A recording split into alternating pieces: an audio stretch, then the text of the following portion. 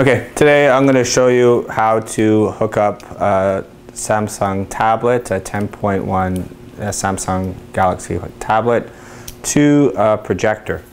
Um, this projector is uh, the um, Epson uh, 7, uh, 710 HP.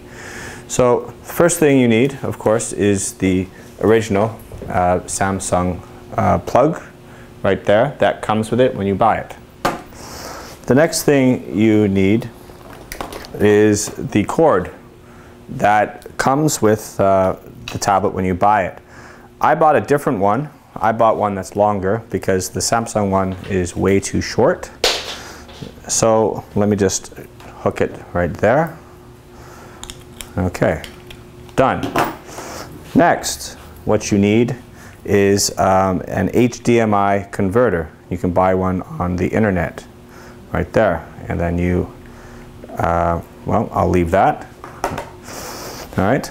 Uh, next, oh, and you hook it in right there. Like, I'll show you. Okay. Next, you need an HDMI cable, which you hook there. All right. And then you hook the HDMI cable into the back of the projector like so. Now, it has to be plugged in at all times. That's kind of a disadvantage. It's not wireless. So you just plug it in like that. And you are good to go. You are ready. All right, so I'll just uh, turn that on. Oh, and of course, you have to plug it in right there. And you should feel a little vibration to show that it's ready.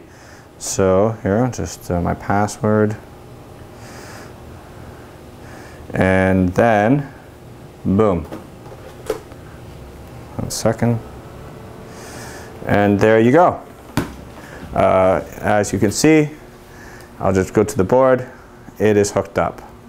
And you are ready to uh, begin. And it's, it's that simple. It's uh, very easy to do it. Well, I hope that helped. Uh, for uh, more uh, videos like this, then please subscribe. Thanks. Bye-bye.